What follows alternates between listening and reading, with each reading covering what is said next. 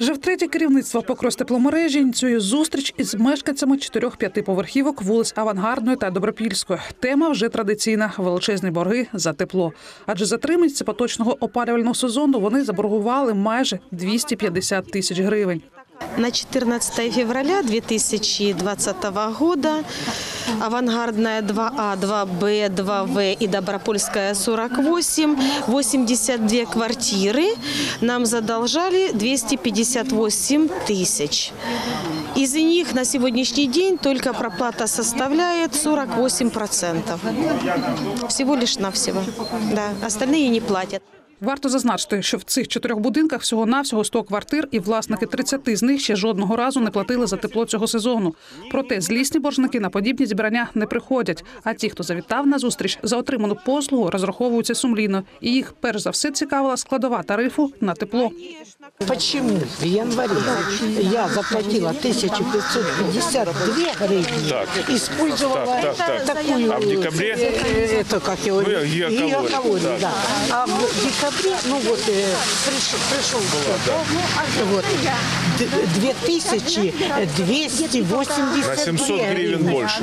Температура средняя за декабрь плюс 1,9, за январь э, минус 0,2. Ну там разница где-то в градус. И плюс, пол- и, и- и сейчас, температурные это раз.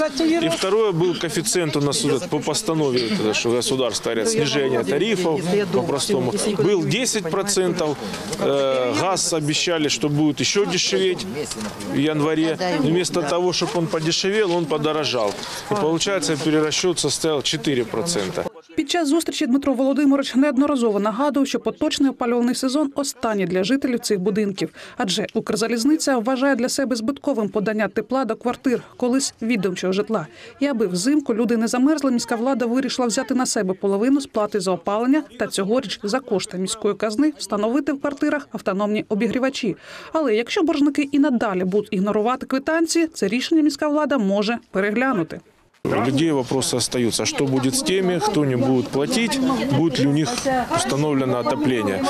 Однозначно, если человек не платит, то никаких действий со стороны города, с нашей стороны производиться не будет. Пока человек 100% не оплатит за долги за отопление, соответственно, ни о каком автономном отоплении в его квартире речи быть не может.